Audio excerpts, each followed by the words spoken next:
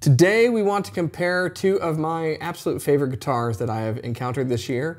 One that we know very well, the Taylor 814 CE, and we are going to compare that to one of the newer kids on the block, the Furch Red Master's Choice guitar, which is also a Grand Auditorium body shape. They have similar tone woods, similar price, similar size. How do they compare? Let's check it out.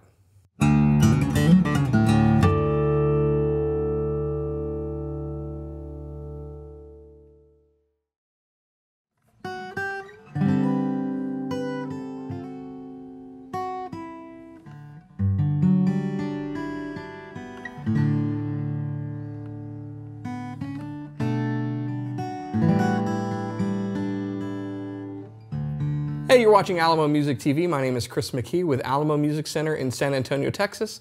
You can find us online at alamomusic.com. If you are new to our channel, make sure that you subscribe, turn on notifications, like our videos, and if you'd like to support the channel, make sure to visit our Teespring store below, where you can purchase t-shirts that we have designed ourselves for you to wear. So as I said at the onset, we are going to compare two guitars. We're going to compare the great Taylor 814 CE, which is one of our absolute favorite guitars here in the store, to the Furch Red Master's Choice. Now, if you've seen our video on Furch, I am a fan of these guitars. If you have not seen that yet, I will put a link right above my head there so you can see that kind of introductory video to the line. We have finally received some additional guitars from Furch and we are excited to do reviews and comparisons for you on these as well. This is one that I was particularly excited to get my hands on because this is the Red Series Master's Choice. Now, as I mentioned in that video, Master's Choice uh, guitars are basically uh, the for each series there's a selection of body shape, tone woods, and so forth to consider that the master's choice. Within each series, you can choose other body shapes, um, and in some cases, even a change of tone woods. So in the red series, there are two levels. The next level up includes Cocobolo, and I believe it's Alpine Spruce. Um, but in each series, uh, along the lines that are colored, uh, whether it's a blue series, green series, orange, yellow, red, so forth. There is what's considered kind of the, the pick, the master's choice for that series, what represents the flagship of that series. And that's what we have today. This is the red. It's a GC, which is a grand auditorium with cutaway. And uh, the model number you typically see on this would be red GC SR SPA. And let me kind of break that down for you so you can understand the terminology that Furch is using. So it is a red series. It is a GC, which is a grand auditorium with a cutaway. SR is spruce and East Indian rosewood back and sides. And SPA is the Stage Pro Anthem pickup that they put in here. So this is an LR Baggs Anthem, much like you've talked, you've seen me talk about and praise in some of our other videos. This just happens to be the Pro version or the Stage Pro version, which has a preamp here on the side with controls rather than the more commonly seen uh, sound hole pickup version or control version. So let's talk about the specs of this guitar.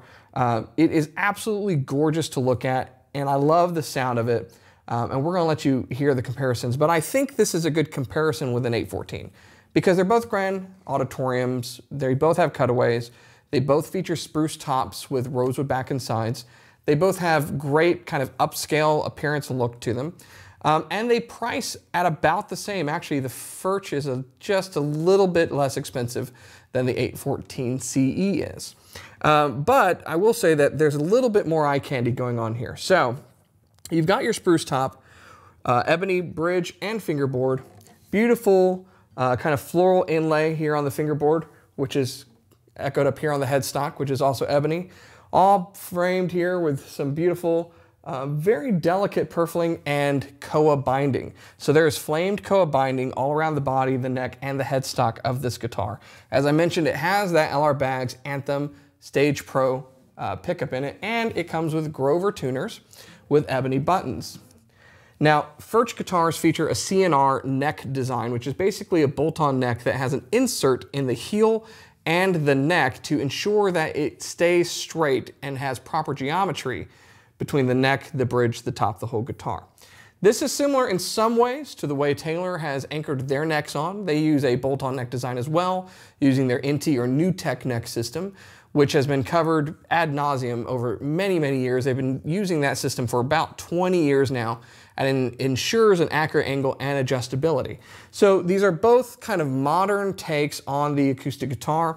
Of course, this is featuring master grade tone woods from Furch. It is built overseas in the Czech Republic. It has their scalloped bracing and the top and back on these Red Series are all tap tuned or tuned by luthiers there at the factory. The Taylor we're going to compare it to, of course, features their new V-Class bracing, which is the sonic engine for the guitar that Andy Powers designed to improve sustain, uh, volume, sustain, and intonation on the guitars, and it works very, very well. In addition to the acoustic sound of these guitars, I also want to compare the pickup systems. Taylor is using their ES2 pickup system, which is on pretty much most every guitar they manufacture at this. And it is a very good design of a piezo pickup that sits behind the saddle.